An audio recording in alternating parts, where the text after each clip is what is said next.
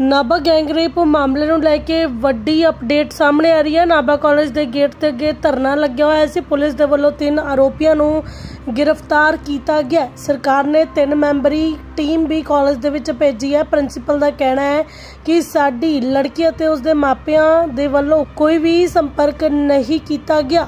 ਪੰਜਾਬ ਦੇ students union ਦੇ ਵੱਲੋਂ ਇਹ ਧਰਨਾ ਲਗਾਇਆ ਗਿਆ। ਪੁਲਿਸ ਦੇ ਵੱਲੋਂ ਤਿੰਨ ਆਰੋਪੀਆਂ ਨੂੰ ਗ੍ਰਿਫਤਾਰ ਵੀ ਕੀਤਾ ਗਿਆ। ਇਸ ਮਾਮਲੇ ਦੇ ਵਿੱਚ ਸਰਕਾਰ ਨੇ ਤਿੰਨ ਮੈਂਬਰੀ ਟੀਮ ਭੇਜੀ ਹੈ। ਇਸ ਮਾਮਲੇ 'ਚ ਤੁਹਾਨੂੰ ਦੱਸ ਦਈਏ, ਆਊਟਸਾਈਡਰਾਂ ਦੇ ਵੱਲੋਂ ਇੱਕ ਕਾਲਜ ਦੀ ਸਰਕਾਰੀ ਕਾਲਜ ਨਾਭਾ ਦੀ ਲੜਕੀ ਦੇ ਨਾਲ ਗੈਂਗਰੇਪ ਨੂੰ ਅੰਜਾਮ ਦਿੱਤਾ ਸੀ। ਤੇ ਇਸ ਮਾਮਲੇ ਦੇ ਵਿੱਚ ਹੁਣ ਧਰਨਾ ਲਗਾ ਕੇ ਲੜਕੀ ਨੂੰ ਇਨਸਾਫ ਦਿਵਾਉਣ ਦੀ ਮੰਗ ਕੀਤੀ ਜਾ ਰਹੀ ਹੈ।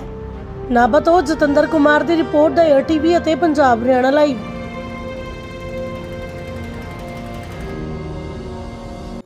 ਦੇਖੋ, ਜਿਹੜੇ ਇਹ ਕਾਲਜ ਦੇ ਵਿੱਚ ਘਟਨਾ ਵਾਪਰੀ ਹੈ, ਇਹ ਬਹੁਤ ਮੰਗ, ਮੰਦਭਾਗੀ ਜਿਹੜੀ ਇਹ ਘਟਨਾ ਜਿਹੜੀ ਵਾਪਰੀ ਆ, ਇਸ ਦੇ ਖਿਲਾਫ ਜਿਹੜਾ ਅੱਜ ਅਸੀਂ ਪੰਜਾਬ ਸਟੂਡੈਂਟ ਯੂਨੀਅਨ ਵੱਲੋਂ ਇਹ ਰੋਸ ਪ੍ਰਦਰਸ਼ਨ ਜਿਹੜਾ ਰੱਖਿਆ ਗਿਆ ਸੀਗਾ, ਇਸ ਦੇ ਪਿੱਛੇ ਜਿਹੜੇ ਕਾਰਨ ਰਹੇ ਨੇਗੇ, ਉਸ ਦੇ ਖਿਲਾਫ ਆ ਜਿਹੜੀ ਇਹ ਅੱਜ ਆਵਾਜ਼ ਚੁੱਕੀ ਗਈ ਆ ਵੀ ਕਾਲਜ ਦੇ ਅੰਦਰ ਜਿਹੜਾ ਸਿੱਖਿਅਕ, ਸਿੱਖਿਆ ਨੂੰ ਲੈ ਕੇ ਕੋਈ ਵਿਦਿਅਕ ਮਾਹੌਲ ਆ ਜਿਹੜਾ ਉਹ ਨਹੀਂ ਹੈਗਾ। ਤੇ ਕਾਲਜ ਅੰਦਰ ਜਿਹੜੀ ਗੁੰਡਾਗਰਦੀ ਆ, ਉਹ ਦਿਨ ਬ ਦਿਨ ਜਿਹੜੀ ਵਧੇਰੇ ਵੱਧਦੀ ਜਾ ਰਹੀ ਸੀਗੀ।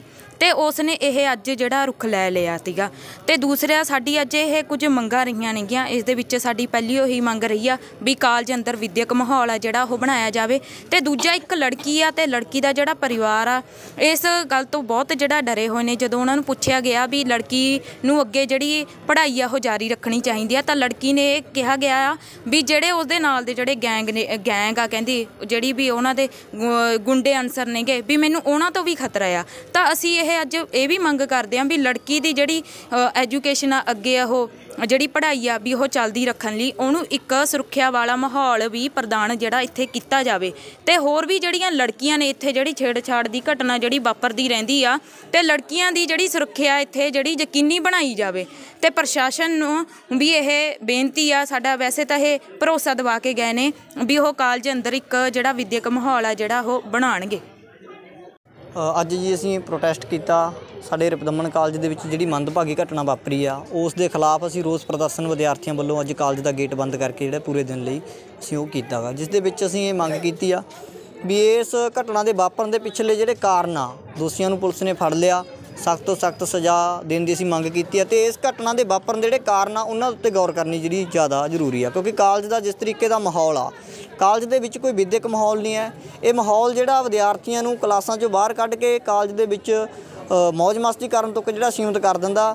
ਇਸ ਕਾਲਜ ਦੇ ਮਾਹੌਲ ਦੇ ਵਿੱਚ ਗੁੰਡਾਗਰਦੀ ਹੁੰਦੀ ਆ ਆਊਟਸਾਈਡਰ ਆਉਂਦੇ ਆ ਬਾਹਰੋਂ, ਨਸ਼ੇ ਪੱਤੇ ਵੀ ਕਰਦੇ ਆ ਤੇ ਇੱਥੇ ਆ ਕੇ ਵਿਦਿਆਰਥੀਆਂ ਨਾਲ ਛੇੜਛਾੜ ਕਰ ਵਿਦਿਆਰਥਣਾਂ ਨਾਲ ਛੇੜਛਾੜ ਕਰਦੇ ਆ ਤੇ ਆਮ ਵਿਦਿਆਰਥੀਆਂ ਨੂੰ ਵੀ ਤੰਗ ਪਰੇਸ਼ਾਨ ਕਰਦੇ ਆ। ਤਾਂ ਇਸ ਮਾਹੌਲ ਦੇ ਖਿਲਾਫ ਅਸੀਂ ਓਵਰਆਲ ਜਿਹੜਾ ਅਸੀਂ ਪ੍ਰੋਟੈਸਟ ਕੀਤਾ ਵੀ ਇਸ ਮਾਹੌਲ ਨੂੰ ਬਦਲਣ ਦੀ ਜ਼ਰੂਰਤ ਆ। ਨਹੀਂ ਤਾਂ ਜਿਸ ਤਰੀਕੇ ਨਾਲ ਕੁਝ ਸਾਲਾਂ ਤੋਂ ਇਹ ਮਾਹੌਲ ਵਿਗੜਦਾ ਜਾ ਰਿਹਾ, ਇਸ ਮਾਹੌਲ ਨੇ ਹੋਰ ਵਿਗੜਨਾ ਤੇ ਇਦਾਂ ਦੀਆਂ ਘਟਨਾਵਾਂ ਜਿਹੜੀਆਂ ਨੇ ਹੋਰ ਵਾਪਰਨੀਆਂ ਨੇ। ਜੇਕਰ ਅਸੀਂ ਇਦਾਂ ਦੀਆਂ ਘਟਨਾਵਾਂ ਚਾਹੁੰਦੇ ਆ ਵੀ ਇਹ ਨਾ ਵਾਪਰਨ ਤਾਂ ਇਸ ਮਾਹੌਲ ਨੂੰ ਬਦਲਣਾ ਜ਼ਰੂਰੀ ਹੈ। ਇਸ ਕਰਕੇ ਅਸੀਂ ਇਸ ਮਾਹੌਲ ਦੇ ਖਿਲਾਫ ਪ੍ਰਦਰਸ਼ਨ ਕੀਤਾ। ਪ੍ਰਿੰਸੀਪਲ ਮੈਡਮ ਸਾਨੂੰ ਭਰੋਸਾ ਦੇ ਕੇ ਗਏ ਨੇ।